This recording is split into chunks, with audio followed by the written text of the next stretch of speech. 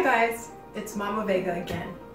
Last time we talked about plant-based foods. We're still going to talk about plant-based again this time, but the last time I talked specifically about protein and a little bean called mung bean. This time what I want to do is I want to show you the differences in proteins and cholesterols and all those kind of things to explain to you why plant-based is a better option, although many of you are still going to eat the meat, just like we said the last time. I get it. I don't, I'm not saying you shouldn't or wouldn't or to, I'm not going to tell you that because some of you are going to do it anyway. As soon as I say don't do it, that's the very first thing you're going to do, which is why I don't believe in diets. But I do want to show you the difference in meats versus beans. Specifically, I'm doing beans. Last time we talked about the mung bean. And remember I showed you the mung bean. It's very tiny, tiny, tiny, tiny like this. And one serving of the mung beans is about two ounces. This is what that looks like if it's two ounces of dried beans, okay? Two ounces of dried beans look like this. However, if I take it and I add water to it, this is how that swells up. That was originally two ounces and now it swelled up to four ounces. Later on in this video, you will get a chart and you will see the nutritional comparisons of beans versus meat and you will also see some of the things that they will do. So I wanted to show you this. These little beans right here are going to give you approximately 24%, um, somewhere in there, of your protein that you would need for the day. These little ones right here is about 24%. However, I can take those same beans okay? And I'm dumping that out so you can see. This would be one of your percentages there. And I can take these, which are lupini beans. These lupini beans, this is approximately 3.5 ounces that I started with. 3.5 ounces is going to give you about 72% of your protein that you would need for the day. But when I add water to it, this is what that grows to be. So look at this. Now if I take these and I add these with it, the two of these together will give you approximately 96% of the protein that you need for one day. 96% just from these two things. And in addition to you getting the protein, you're also going to get fiber. It's going to not have cholesterol. You're going to have all these other beneficial things that you will get from just these two. So now if I take these two and I take it and I smash them up like this, you end up with the beans. And you see down on the bottom, you have the one that I smashed up. You can take these, you can mix them together like this just by mixing them together. And because they're like this and they also have a stickiness or a little bit of, you know, where you can mold them together, I don't really need to add a whole bunch of other things unless I want to add some seasonings to it. I can add my seasonings and then I can form these into little meatballs. I can use an air fryer. I can put them in the oven. I can put them in a pasta sauce or I can take them and turn them into a burger. And I do a lot with black beans, so I make black bean burgers, doing the same concept and adding various beans to it so that I can get my 100% of my protein for the day just by doing this and not having to worry about cholesterol. And if you were to look at my chart later on and you look at the different beets and you look at the chicken and ground chicken, one of the things I noticed was in the ground, tur ground turkey and ground chicken, I was like, how does ground turkey have vitamin C? I was like, that doesn't make sense to me. And then I looked at the ingredients and I noticed they added rosemary to it. So the reason you have vitamin C there is because of rosemary, but other than that, it doesn't have any fiber, it doesn't have anything. And then people will say, oh, you know, Kobe beef, Kobe burgers, they're so good and it's so expensive.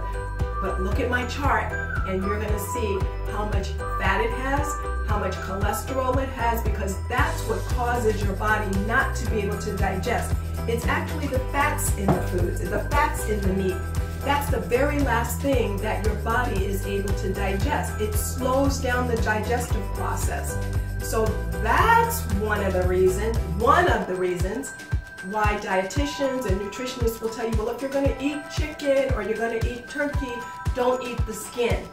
Many of you are going, well, that's the best part, is the skin, because it has all that juice and all the other stuff in it. That's true. But that's also the fat that slows down your digestion. Did you know that it takes 24 to 72 hours for your body to digest meat? So those of you who are meat eaters, the reason you're having the problems with your colon and you're having the uric acid and all of that is because you may be eating meat for breakfast, you may have some for lunch, then you have some for dinner, then the next day you have breakfast, lunch, dinner. That's only 24 hours. Now you have a third day. So look at how many times you've had meat and the one you had on the first day hasn't even digested yet because it takes 24 to 72 hours. Whereas if you're eating vegetables, vegetables will take anywhere from 3 to 12 hours depending upon the vegetable that you're eating. But the vegetables are also giving you fiber. The fiber is what's slowing everything down. And because it's slowing down the digestive process, what it's also doing is it's helping you to do that little poop factor that you need to get. Because you should be pooping three to five times a day. But now, if you are eating the meats, you're getting what I call a food traffic jam. It ain't going nowhere. It's sitting there, it's rotting. And if you want to see whether I'm telling the truth or not, take a piece of meat, season it, put it in the oven, leave it in there at 98 degrees for 24 to 72 hours and then see if you want to eat it or not. Chances are you don't. Well, that's what happens in your gut, in your stomach. You've just messed up your whole flora. That causes a problem. The other thing I want to mention is that women are always, oh my gosh, I eat the same thing that my husband eats and you know, he's losing weight and I'm not losing weight. There is a physiological reason for that. And the reason is it takes women longer to digest food than it does for men. So therefore, your digestion is slowed down. So since the digestion is slowed down, you're retaining that food longer, which means you need to up those vegetables and eat more vegetables than he's eating, and there that will help you. So all of these things are things you can do. I also sometimes like to add, you know, quinoa, and I have two different kinds. I have you know, this one which is like a rainbow type, and then I also have this one over here, which is red. Depending on what I'm doing, I like colors in my food. Remember the last time I talked about eat the rainbow? Well, I like eating the rainbow because I like adding all kinds of colors. But in me adding quinoa, I'm also adding more protein. So I've just added a little bit more protein. So although I only got 96%, I can add a little bit of this in there and now I have 100%. So I went from 96 to 100. But if you look at the percentage of protein that you have in the other meats and you look at the fat that's in it and you look at the cholesterol, you're going to go, well, I really don't think I want to do that. So the meats are going to be high in fat and high in cholesterol. And that's really why the doctors are telling you not to eat the meats. And that's because they're raising your cholesterol, but the reason they're raising your cholesterol is because they are cholesterol. They're full of cholesterol. They're also full of all the antibiotics that the animals have. So now when you eat that, you're eating the antibiotics that they had, which is slowing down your immune system. Because now your immune system has all been altered and changed and screwed around and everything. The other thing that I like to add sometime is I like to add these. These little things right here. This is couscous. But look, I have I found a new one. I found a new one. These one, I saw these and these were like the tiny ones and they swell up too. But because I work with people who like to have texture in their food, I found these. I went to a Middle Eastern store and I found these because I shop at all different ethnic stores. I go to every single one you can think of. If there's one, if it's in Chinatown, I go to Chinatown. If it's up in Northern California, I'll go there. Wherever it is, I just kind of cruise through and see what I can find that I haven't seen before. And I already had some couscous. I was like, oh, these are cute. But then when I saw these, I was like, oh, wow, these are bigger, so I wanted these. So now I can add both of them to it and now you have two different sizes of couscous. Then I might add a little bit of barley to it and I add all kinds of other things and it's like, oh my gosh. And then people, when they taste it, oh Oh, that's a good question because I don't remember because I just threw a whole bunch of stuff in there. I asked somebody the other day, do you make goulash? I was like, sure I do. That's really easy to do because I don't have to keep a recipe for that. I can just throw some stuff together.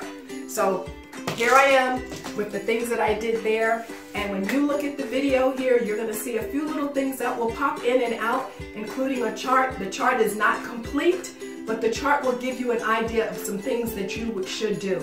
And like I said, and I always say in all of my things, although this is not seasoned, and since I'm plant-based, I can eat this without anything on there. And like Mama Vega always says, now chew on this.